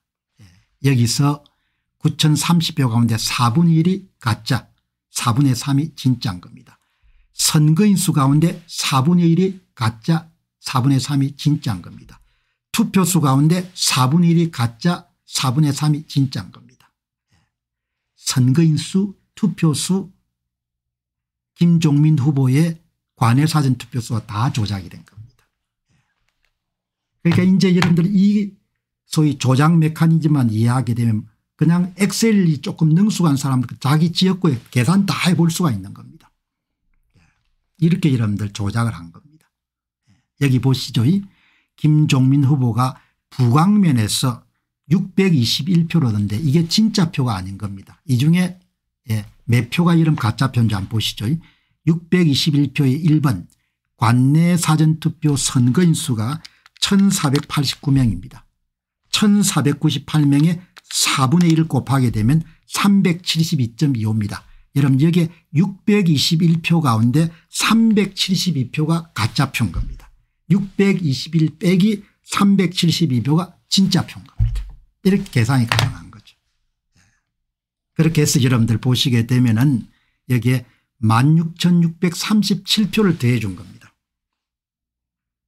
사전투표를 만지는 사람이 위조투표지 16,637표를 새로운 미래의 김종민 함께 더해 준 겁니다. 그럼 투표장에 직접 오신 분은 몇 분이냐? 진짜가 49,911명인 겁니다. 그럼 진짜하고 가짜를 합쳐가지고 선거관리위원회가 발표한 사전투표자 수가 66,548표인 겁니다. 아시겠죠? 16,637표를 어떻게 집어넣냐? 진짜 진짜 진짜 가짜표. 진짜 진짜 진짜 가짜표. 사전투표에 세 사람 올 때마다 한 표씩은 다 뭡니까? 통행세로 새로운 미래 김종민 후보와 함께 다 더해지게 된 겁니다. 관내 사전투표는 12,418표를 집어넣고 우편투표는 4,219표를 집어넣은 겁니다. 그래서 성부를 완전히 바꿉니다. 류재화 후보가 이긴 겁니다. 예. 실제로는 류재화 후보가 4만 9천 표 김종민 후보가 4만 8천 표 659표로 국민의힘 김종민 후보가 이긴 겁니다. 그런데 선관위가 16,637표를 집어넣은 겁니다. 어마어마하게 많은 표수죠. 아주 많은 표수에 속합니다. 15,000표를 집어넣으면 큰 표입니다. 그래서 성부를 15,977표 차이로 김종민 후보가 승리한 것으로 그렇게 발표해버린 겁니다. 류재하 4만 9천 표 김종민 6만 5천 표입니다. 한국 선거는 끝난 겁니다. 이런 식으로 하면 은 이제 그냥 실질적인 일당 지배체제가 열리는 겁니다. 국민들이 표를 던지든 관계없는 겁니다. 그냥 사전투표를 9.70% 이런 부풀려 가지고 위조투표지 만들어서 전산을 그냥 쑤셔 넣는 겁니다. 그리고 위조투표에 투입하면 되는 것이고 그러니까 여러분 이 보시기 바랍니다. 그럼 이 사람들이 표를 어떻게 집어넣냐 이거는 조금 이따 이야기하겠습니다. 사전투표를 실제로 사전투표장에 오신 분들은 선거인 수 기준으로 여러분들 29.48%입니다. 선관위가 어떻게 여러분들 가짜를 발표했는가 하니까 발표 사전투표를 39.18%로 발표한 겁니다. 두 개를 빼게 되면 9.70%를 부풀리기를 한 겁니다. 9.70%를. 그래서 16,637표를 가짜표를 김종민 후보한테 더해 준 겁니다. 그 김종민 후보에 더해 준건 어떻게 나타나냐. 예. 진짜 사전투표율이 김종민 후보가 44%입니다. 예. 올려가지고 58% 뻥튀기를 해 준 겁니다. 예. 당일 투표가 여러분 김종민 후보가 49%인데 사전투표를 58%까지 끌어올렸기 때문에 사전 빼기 당일이 플러스 9%가 나오는 겁니다. 조작에 굉장히 중요한 증거인 거죠. 예. 표를 다 만들었기 때문에 이렇게 뚱뚱한 차이값 그래프가 나오는 겁니다. 표를 집어넣어줘가 여러분이 보시기 바랍니다. 북왕면 마이너스 9% 플러스 10% 금남면 마이너스 9% 플러스 전부 표를 집어넣어줘가 이렇게 만든 겁니다. 선관위가. 이렇게 국민들에게 발표를 한 겁니다. 그 성부를 조작을 해버린 거죠. 이게 진짜입니다.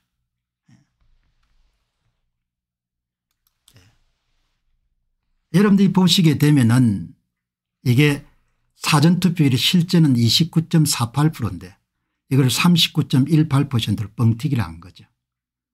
예. 사전투표지를 쑤셔 넣어줬으니까 조작하기 이전에는 0.84 사전 당일 비율 쉽게 이야기하면 당일 투표지 100장당 김종민 후보가 사전투표지를 84장을 받았습니다. 원래 진짜는. 그런데 표를 16,637표를 집어넣었으니까 조작한 선관위 발표된 자료를 보게 되면 1.46입니다. 당일 투표지 100장당 사전투표지 146장까지 받은 걸로 나오는 겁니다. 음. 이렇게 이런 조작을 한 거죠. 그러니까 이 선거 사전 투표를 조작한 선관위 관련자들은 기본적으로 뭐 이게 크게 문제가 없을 거다 이렇게 생각했을 겁니다. 본인들이 범죄가 본 사람이 없기 때문에 다 그냥 넘어갈 거라고 생각했는데 이 숫자를 조작했기 때문에 이렇게 덜미를 잡히는 겁니다. 자, 여러분 여기서 이제 사전 투표를 조작한 건 확실합니다. 그뭐 이거는 그냥 확정적 사실이기 때문에 뭐 당선자인 김종빈 의원이 조금 이렇게 언짢더라도 그냥 당선 당선된 겁니다. 이렇게 조작해 가지고 16,637표를 집어넣어 가지고 낙선을 했는데 당선자로 만들어 준 겁니다. 누가 예. 선거를 조작한 사람들이 이렇게 만들어 가지고 그러니까 뭐 여러 가지 이렇게 자료들이 다 나온 선거 데이터를 만졌기 때문에 이게 다 발각이 된 거지 않습니까 이 선거 데이터를 만지면 이렇게 뚱뚱한 차이값 그래프가 나오는. 여러분이 보셔도 너무나 인공적인 미가 있지 않습니까 아름다움이. 자 여기서 여러분들 제가 주목하는 것은 예, 이 보시기 바랍니다. 이게 이게 이제 그동안 미심쩍게 봤는데 한번 문제 제기를 해보겠습니다. 사전투표를 조작한 겁니다. 사전투표를. 그러면은 예. 이 일반적으로 여러분들 지금까지 한 10년간 선거 데이터를 분석해 보게 되면은 대부분 당일 투표에 국민의 힘이 앞서고 조작을 해서 사전투표율을 높여주는 것이 아주 전형적인 모습입니다. 그런데 여기 보시면 여러분들 뭐를 우리가 느낄 수 있는 거 아니까 김종민 후보가 당일 투표에서 이긴 겁니다. 당일 투표에서. 그런데 좀 놀라운 것은 예 이게 추정치인데 이 당일 투표하고 여러분들 실제로 사전투표 추정치하고 거의 비슷해야 됩니다. 비슷해야 되는데 여기 2%죠. 여기는 5%입니다.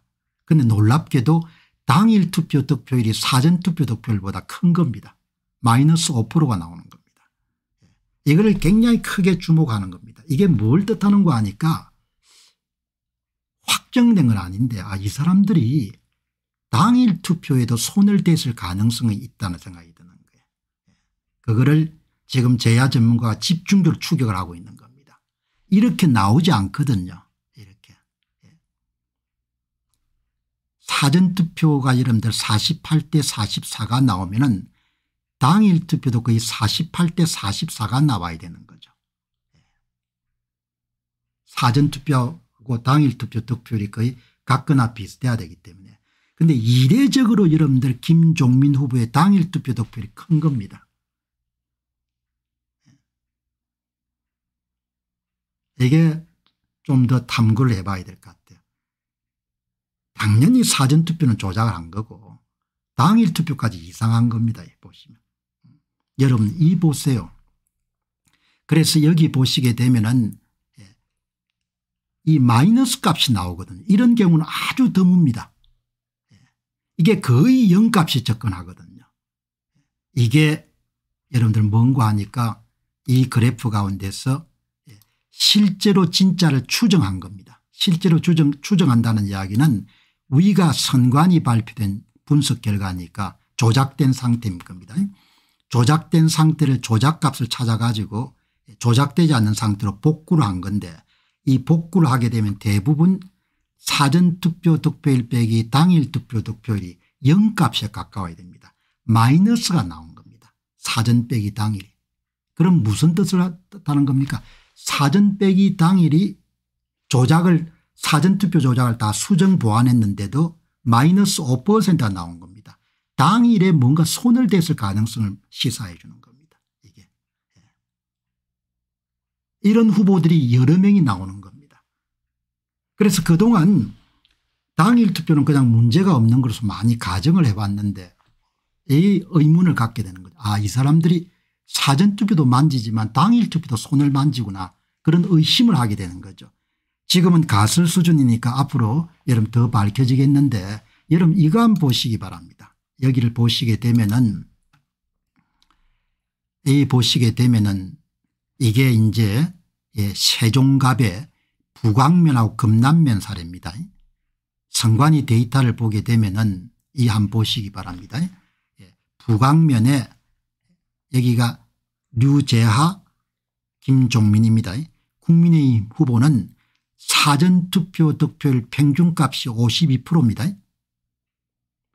당일 투표 득표율 평균값이 61%입니다. 북왕면 제1투표소가 58% 북왕면 제2투표소가 64%입니다. 이렇게 차이가 날 수 없거든요. 당일 투표 평균명이 북왕면에서 61%인데 사전투표 득표율 북왕면의 평균값이 52% 사전 빼기 당일이 마이너스 8%가 나온 겁니다. 이거는 사전을 조작했을 가능성이 굉장히 높은 겁니다. 그런데 이 다음에 여기 김종민 후보를 보시기 바랍니다. 사전투표 득표율이 42%인데 당일 투표 득표율이 평균값이 31%거든 사전을 어마어마하게 높여준 겁니다. 이건 사전투표 득표수를 부풀리게 했다는 것을 입증한 하나의 자료인 거죠. 그런데 이제 우리가 의심을 삼는 것은 야 이게 당일 투표의 1투표수 2투표수 이 당일 투표 득표율이 정상이냐 그게 이제 의문을 갖는 겁니다. 정상이면 이렇게 마이너스 값이 나올 수가 없거든요. 사전 빼기 당일이 모든 조작을 다 해소를 했는데 여러분들이 조금 이해하기가 난해한 부분도 계시겠지만 문제 제기 차원에서 말씀드린 겁니다. 다시 한번 더 정리하게 되면 세종시 갑에는 부동산 투기 의혹 때문에 더불당 후보가 나오지 않고 새로운 미래에 예, 김종민 후보가 단독으로 출마했는데 어, 어김없이 김종민 후보와 함께 표를 1 6 0표 정도를 밀어줘 가지고 예, 당선자가 낙선자가 되도록 만들었다. 659표 예, 차이로 김종민 후보가 패배한 것을 15,977표 차이로 승리한 거다. 그리고 이것은 모두 다 선거 데이터를 통해가 다 입증이 됐다. 이렇게 보는 겁니다. 그런데 여기서 발견한 특이사항은 당일 투표가 좀 이상하다는 거죠. 예. 그래서 이 문제를 앞으로 예, 좀더 들여다보도록 그렇게 하겠습니다. 자, 이 보시기 바랍니다. 2024년도 4월 10일 전수 분석 몇개 지역에서는 더불어민주당이 후보를 내지 않았습니다. 여기가 후보를 내지 않은 지역입니다. 모두 9군데 부산 연제 대구 동구월 대구 서구 이런 데서는 후보를 내지 않았습니다. 그래서 공평하게 이야기하게 되면 전국의 254개 선거구 가운데서 더불어민주당이 후보를 내지 않았던 9개를 제외한 245개만 비교 분석해야 공정한 것이 아니겠느냐 그런 생각이 들어가지고 제야 H님께서 더불어민주당이 출마하지 않았던 부분은 다 제외하고 더불어민주당이 출마했던 245개의 선거구에 대해서만 여러분들 예, 차이값 그래프를 이렇게 한번 그려봤습니다. 2024년 총선 전국의 차이값 관내 사전 투표 득표율 빼기 당일 투표 득표율 더불어민주당 후보 더불어민주당이 후보를 냈던 245개 선거구에 대해서만 여러분들 보시기 바랍니다. 깔끔하죠. 245대 제로인 겁니다. 단 한 곳에서도 사전투표가 당일투표보다도 득표율이 낮은 경우가 없는 겁니다. 완벽합니다. 이 관내 사전투표에 전부 다 위조 투표제를 더불당 후보한테 더해줬다는 이야기입니다. 더해줬기 때문에 이런 그래프가 나오는 겁니다. 크기도 어마어마하게 큽니다. 플러스 11% 국힘당 마이너스 11.04%두 개 합치면 얼추 22% 예. 사전투표자 수의 22%만큼 표를 이동을 시킨 겁니다. 예. 그러니까 복잡한 모델을 사용하지 않더라도 이 차이값 그래프를 통해 직관적으로 선거 전모를 다 파악할 수 있는 거죠. 전국의 모든 선거구에 다 조작을 한 겁니다. 관내 사전투표 득표수를 집어넣어 준 겁니다. 그러면 관내 사전투표도 집어넣어 줬겠죠. 재외국민투표도 집어넣어 줬겠죠. 일반적으로 재외국민투표에 이런 조작이 가장 심하고 그다음에 관내 사전투표 득표에 대한 투표가 심하고 그다음에 관내 사전투표지 않습니까 다만 관내 사전투표는 가장 표가 압도적으로 많기 때문에 영향이 큰 거지만 조작 강도나 조작 시기를 보게 되면 재외국민투표 우편투표 관내 사전투표 순서가 되는 거죠. 예. 뭐 완벽한 그래프지 않습니까 보시게 되면 그 예술품입니다. 예. 한 곳도 뭐죠 예. 사전투표 득표율이 당일투표 득표율보다 작은 경우가 없는 겁니다. 이 X축이 245개 선거구입니다. 음. 이 크기 보시기 바랍니다. 엄청나게 큽니다. 이거는 반과학입니다. 반과학적. 이거는 뭐 조작을 했다고 그냥 100%밖에 믿을 수 없는 겁니다. 그리고 여러분들이 보시죠. 더불당의 플러스 11.01%하고 국힘당하고 기타 당을 더하게 되면 마이너스 11.01%가 되지 않습니까? 유령 사전투표도 확보해 가지고 전부를 더불어민주당 후보한테 더해 주게 되면 은 선거관리위원회가 발표한 선거 데이터가 사후적으로 예, 국힘이나 기타 당에서 표를 빼앗아 가지고 더불당하게 더한 것처럼 플러스 마이너스가 좌우가 대칭이 되고 플러스 마이너스 값이 거의 대칭이 되는 것이 보이거든요. 그대로 보이지 않습니까 관외 우편투표도 마찬가지입니다. 우편투표 관외 사전투표 득표일 빼기 당일 투표 득표일입니다. 여러분이 보시기 바랍니다. 245개 선거구에서 전부가 다 뭡니까 네, 플러스 값입니다. 어마어마하죠. 여기서는 더불어당의 불출마 지역은 제외한 겁니다. 뭐 이거는 거의 예술품입니다. 이거는 전수조사를 하기 때문에 나타난 아주 보통 선거에 대해서 배경 지식이 없는 분들이 아주 손쉽게 이해할 수 있는 방법이 표를 관내 사전투표에 공짜표를 선거구마다 한 만 표 내외를 서울에서는 만에서 만 오천 표를 집어넣었기 때문에 이런 그래프가 나오는 겁니다. 조금 전에 김종민 세종갑 새로운 미래 후보 함께 만 육천 표 정도 집어넣어 주잖아요. 만 육천 표가 여기 들어가는 겁니다. 만 육천 표가. 그러면 얼마나 차이가 플러스 값이 크겠습니까 그게 전국에서 다 일어난 겁니다. 전국에서. 그러면은 여기 보시면은 광주 광역시 전라남도 전라북도는 왜 그래프가 크기가 작냐 그쪽은 원래 더불민주당의 텃밭이기 때문에 조작을 심하게 안 하고 조금만 하는 거죠. 그래서 이렇게 이름들 숫자가 적은 겁니다. 예. 그죠? 서울은 반드시 이겨야 되니까 어마어마하게 이름 조작을 해가지고 차이값이 크지 않습니까? 예. 이렇게 나오는 겁니다.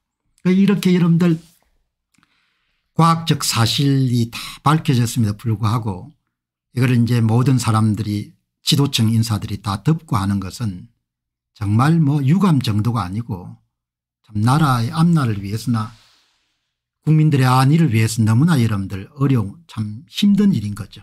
이렇게 되면 선거를 되찾는 것은 거의 불가능한 겁니다. 예. 그렇게 보시면 좋겠습니다. 예. 오늘 방송 보시는 분들이 동시 시청하신 분들이 한번 좋아요를 한번 눌러주시고 방송을 좀 들어주시면 좋겠습니다. 이게 관내 사전투표입니다. 관내 사전투표. 이, 이거 보시기 바랍니다. 관내 사전투표의 전국 차이값. 예. 이 보시기 바랍니다. 예. 깨끗하지 않습니까 전부 다 관내 사전투표 득표율이 당일 투표 득표율보다 245개 선거에 전부 다 풀렸습니다. 전부 다 조작을 했다는. 관내 사전투표 위조투표지를 투입했다는 겁니다. 크기도 어마어마하게 크죠. 플러스 13.85 마이너스 13.90 플러스 0.055% 이걸 두고 합치게 되면 마이너스 13.85% 플러스 더블당 플러스 13.85% 국힘당과 기타당 마이너스 13.85% 착하게 조작이 되는데 그대로 판명이 되는 거죠. 제외 국민투표는 여러분 더 심합니다. 조작을 하는 그냥 밥, 밥입니다. 밥. 예, 이 보시게 되면은 제외 국민투표입니다. 예. 이 광주 광역시하고 여러분 절, 전라북도에서 조금 여러분들이 특이사항이 있고 거의 전부가 다 뭡니까 광주 전라남도만 빼고 전부가 다 플러스 값이지 않습니까 예. 크기도 거의 30% 됩니다. 제외 국민투표. 예. 이 크기 보시 무지막지합니다. 예. 제외 국민투표는 플러스 24.92% 더불어민주당 차이값 국힘당과 기타 당 여러분들 마이너스 마이너스 예, 24. 24.91%네 91% 예. 24.91%니까 거의 합치면 뭐한 52% 정도 사전투표 투표자 수의 52% 정도 조작한 거네. 예. 이렇게 여러분들 나옵니다. 전수조사가 완료가 됐기 때문에 전체를 새로운 각도에서 완전히 파악을 할 수 있는 거죠. 여러분 이 정도를 보시게 되면 크기가 크면 클수록 조작을 심하게 한 겁니다. 가장 왼쪽은 관내 차이값 관외 차이값 제외 국민투표 차이값입니다. 11.1 13.85 24.92%입니다. 엄청난 수치죠. 11% 13.85% 24.92% 예. 엄청난 겁니다. 예.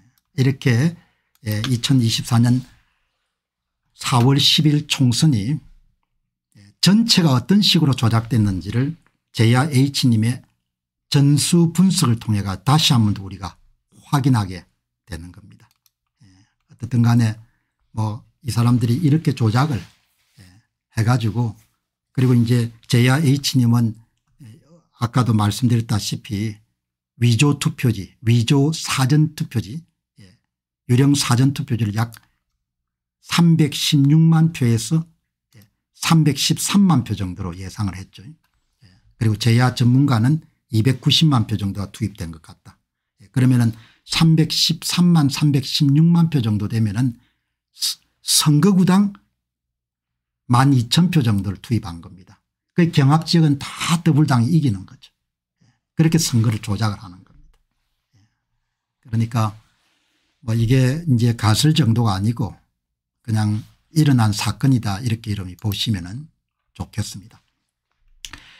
자 여러분이 보시게 되면 이제 총선을 뭐 어떻게 했냐 이거는 여러분들이 이제 잘 이제 알게 되셨지만 제 주장이 아니고 다른 분들은 어떤 식으로 지금 이 문제를 바라보고 있는가라는 부분을 한번 살펴보도록 하겠습니다. 이 VON의 김미영 원장이 이 소위 선거 사기 문제를 오랫동안 들여다보고 계신 분인데 이분이 4월 10일 총선에 대해서 어떤 평가를 내리고 있는지 여러분 한번 보시면은 그러면 제 주장 외에 다른 이 분야에 대해서 깊은 관심을 갖고 오랜 시간과 또 많은 그런 에너지를 퍼부은 사람들의 그런 진단과 분석에 대한 것을 이해할 수 있지 않겠느냐 그렇게 봅니다. 여기 보시게 되면 은 아주 단호하게 이야기합니다. 이 김미영 원장이 갖고 있는 4월 7일 총선에 대한 총평입니다. 부정선거 메커니즘은 단순합니다. 사전투표의 10% 정도의 사전투표를 높여서 그렇게 확보한 위조 사전투표지를 더불어민주당과 기타 당의 선택된 후보들에게 얹어주는 방식입니다. 21대와 22대는 약간 달라진 점이 있지만 기본적으로 같습니다. 예. 여러분 간단하지 않습니까 예. 김영 버유엔 대표의 이야기는 간단합니다.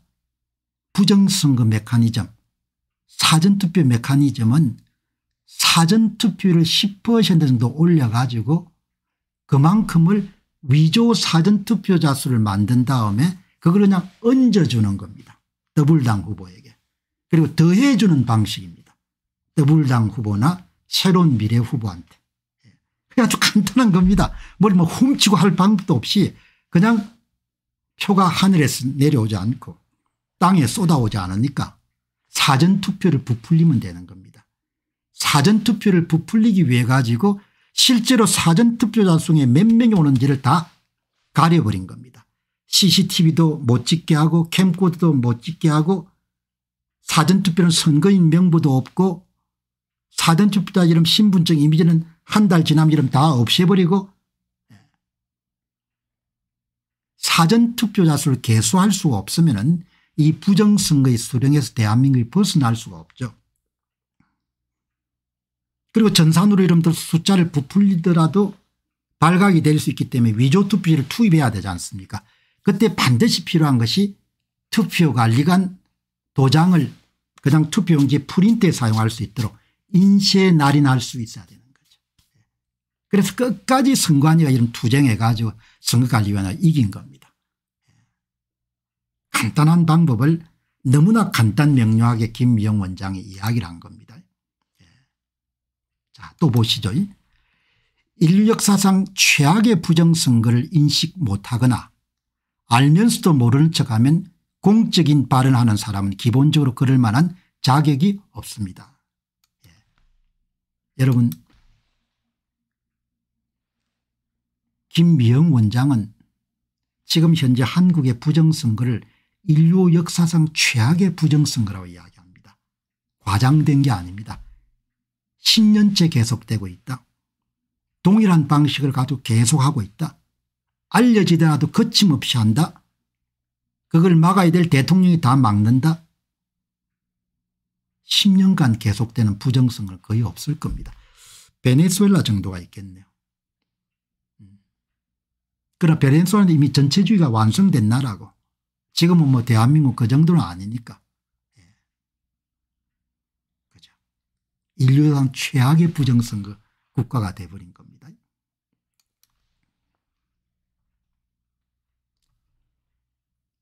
이보다 더한 증거를 보여줄 수 없는데도 증거 없다고 굳게 자신을 속이는 사람들은 무조건 걸러내야 된다. 개인의 기본권을 놓고 벌리는 중국 북한과의 체제전쟁을 이해 못하면서 이념에 대해 발언하는 사람들은 이제 기본권 중 기본권인 선거권임을 이해해야 된다. 중국 공산당을 반대하면서 부정성을 부인하는 사람 또 부정성을 안 보이는 사람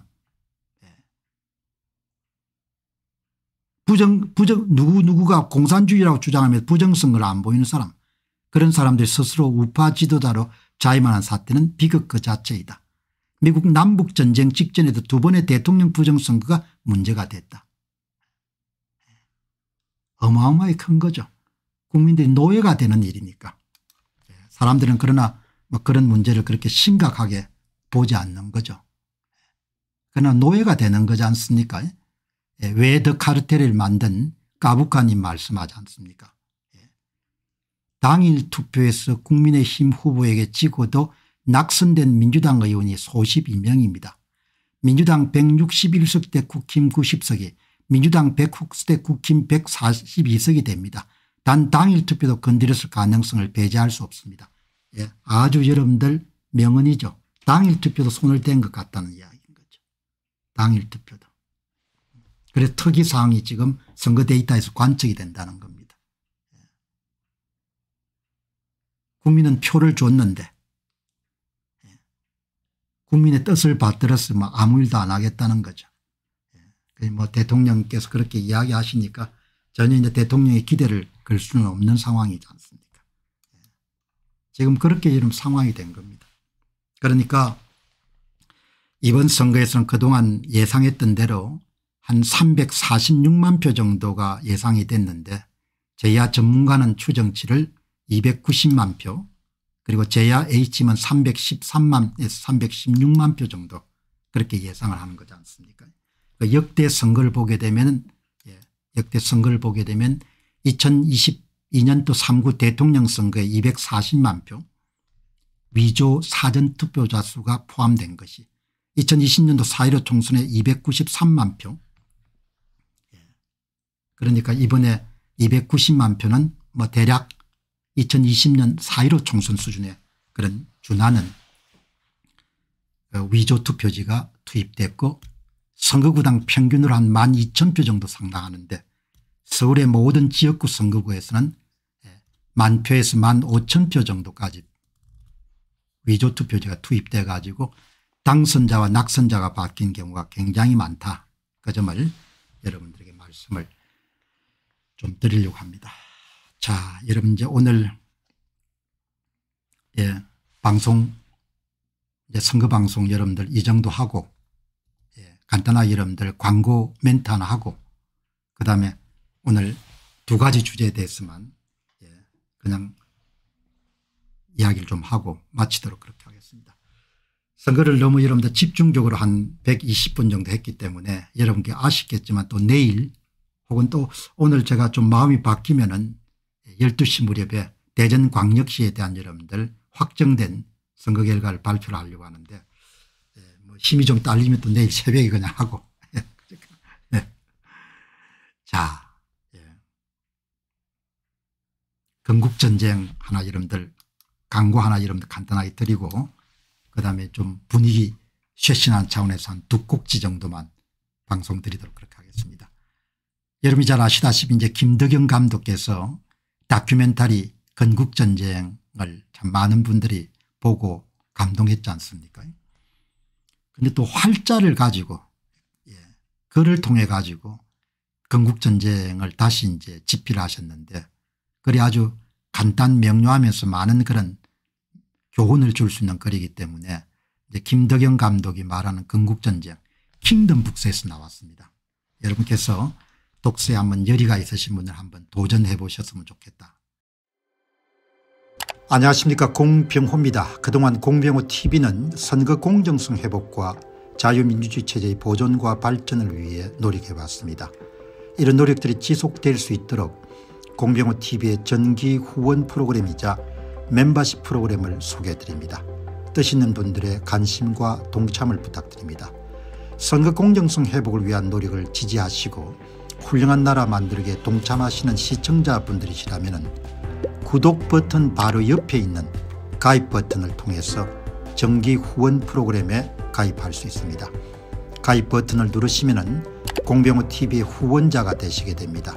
여러분의 후원이 선거 공정성 회복을 위한 노력에 힘을 더할 수 있을 뿐만 아니라 자유민주주의 체제의 수호를 그리고 발전을 통해 여러분과 후손들의 삶에 빛과 소금이 될 것입니다.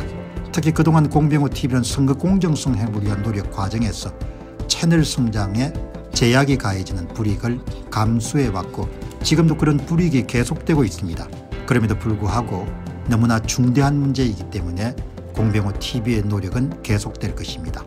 여러분의 깊은 관심을 부탁드립니다. 감사합니다.